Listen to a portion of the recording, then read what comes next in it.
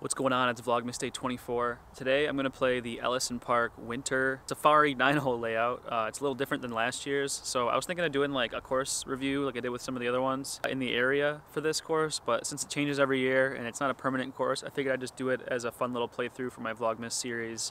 The UDisc layout that's available right now is not working, but I just had someone in the parking lot tell me there's a picture on Facebook that shows the layout pretty well, and they have these little stakes like that uh, all over the course. So we'll just look for those and play through. So this is hole one. The basket is about 300 feet that way behind, I believe it's out behind that tree. So it's way over there, behind that tree. So I think I'll just throw a mid-range at it.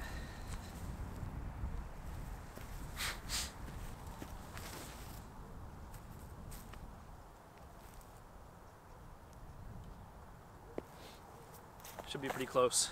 I guess I was looking at the wrong tree because my disc is way back there.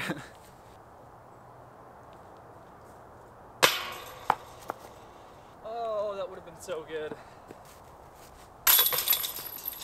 All right, no stake for hole two, but I'm pretty sure it's the same as last year. So it's just a hyzer out to the right of this tree. You can see the basket kind of where I'm pointing. I think it's like 310 away. So I'm just gonna hyzer out a T-bird at it. A Bit of a headwind, I think. So gonna put it on a decent amount of hyzer. Hopefully I don't go into the path. I don't really know where I'm supposed to tee, so I'm just gonna kind of just go right there. There's not really like a tee sign or pad or position or anything.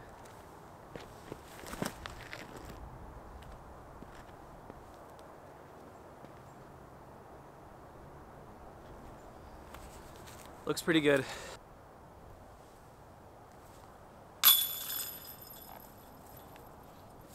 That's the new putting style, baby. Go watch my putting style change video to see how I got my putting to be way more accurate like it was right there.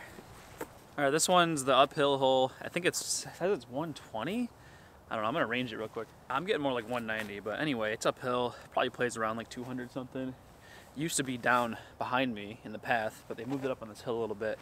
So just kind of throwing an open shot with the putter up to the basket. Gonna throw the Aviar X3 from my ace video. Go watch that video.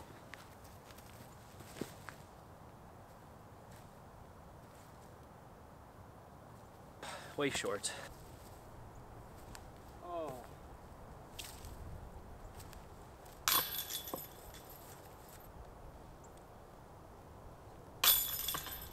I think a big problem for me with putting uphill is I always tend to leave it low, like I just did there. And it might be just because my hands are really cold and like the release, it's hard to time. Um, but that was like, yeah, I just released that like super low. And I should have put a bit more height on it, would have had a way better chance. All right, hole four is 360 from out in the open over here to the bottom of hole 12's fairway, the basket at hole 12. So we're kind of throwing a hyzer out in the open into the trees over there, like kind of where I'm pointing, and trying to get to that basket. So I'm gonna throw a big germ Thunderbird.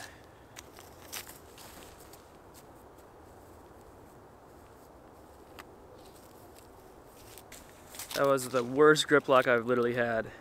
Probably the longest time. I held on to that all the way through. I mean, it basically pin high, just way right. I'll give it a run. Just a soft run, you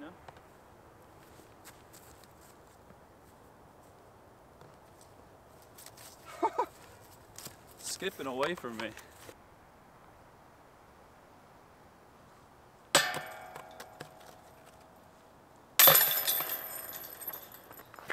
Always the uphill putts, man.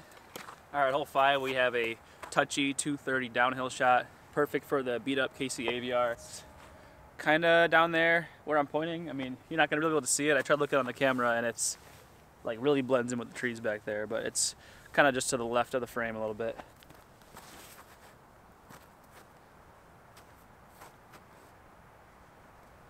Dude, I swear whoever ranged these did not do them right. It's like over 250. I was throwing as if it was like 230. I ended up way short. Ow! I just kneeled right into like a root or a rock or something. All right, hole six. Kind of either a hyzer or a forehand. Out to the basket at the base of that tree. I think you might be able to see it. It's just past that T-pad sign over there, that T sign over there. It says 320 on the picture, but since some of these have been a little wrong, maybe the person ranging it was using UDisc or just not using the T positions that they're set at right now, I'm gonna assume it's more like 350 and there's a little bit of a headwind. I'm not gonna do forehand, I'm gonna throw a backhand hyzer through this gap over here because it looks more fun.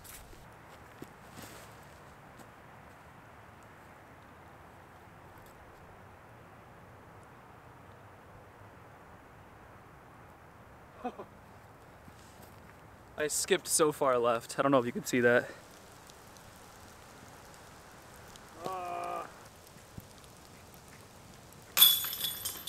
It's getting windy and my hands are getting cold and my camera's getting wet because it's raining too. All right, we're getting like sleeted slash snowed slash rained on. I don't really know what these conditions are, but it's windy and cold and like sleety now.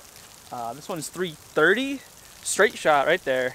I'm gonna throw this Aviar X3 at it and just try to stand it up a little bit on a hyzer and put it right at the basket. Although based on how I've been playing today, I think just these cold and windy and sleety conditions make me just an extraordinarily worse disc golfer. Uh, but we're gonna weather the storm and play these last couple holes. So here we go.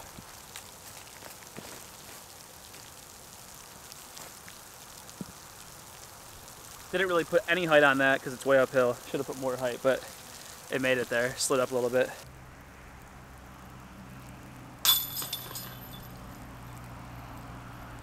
Right, hole eight, about 300 feet that way into those trees. There's a stake right here. I don't know if I should tee off to the left or the right of it, but I'm just gonna go to the right because it looks like it's more fun of a line to throw into these trees than just throw a forehand hyzer out there.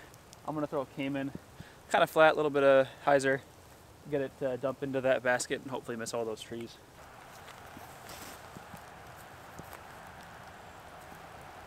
Oh, I smacked the last tree. Long putt with a wet disc. And a ditch behind me.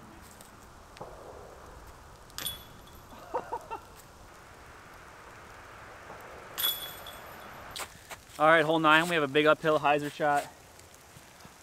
Up to, what is that, hole 10 basket?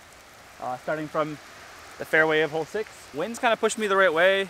Ground's gonna be wet, so I'll probably get a skip. So I'm just gonna throw a T-bird.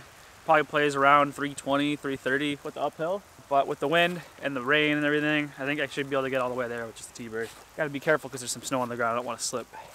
And just so you know, you can just barely see the basket. I don't know if I'm pointing at it, but it's just over the top of the hill up there.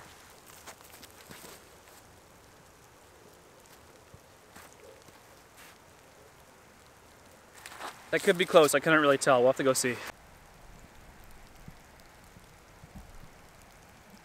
Tyler in my car here with a fresh battery. Not sure what happened. I guess my camera battery was low and it stopped recording, but I did make this putt, so that's all I'm gonna say. Here's the rest of the video, I guess. All right, I'm running out of battery, so I'm gonna make this quick. I'm heading off to Buffalo to go see some family. I hope you enjoy your holidays. This nine hole course is pretty nice. Keep the spirits high, playing a couple nine hole rounds throughout the winter while we wait for the warm weather to come our way so we can play more disc golf.